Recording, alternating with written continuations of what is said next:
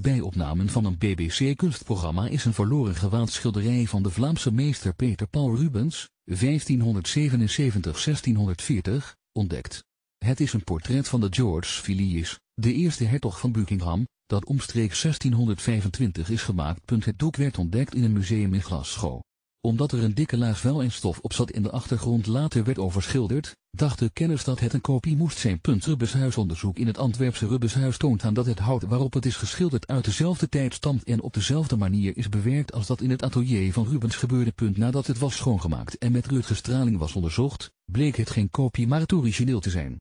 Het doek is inmiddels gerestaureerd. James C. George Villiers, 1592-1628, was een opmerkelijk man.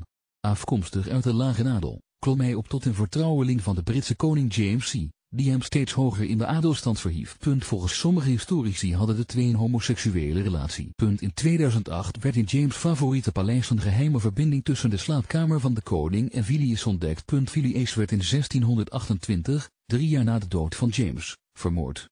De aflevering van Britain's Lost Masterpieces wordt woensdag uitgezonden op BBC 4.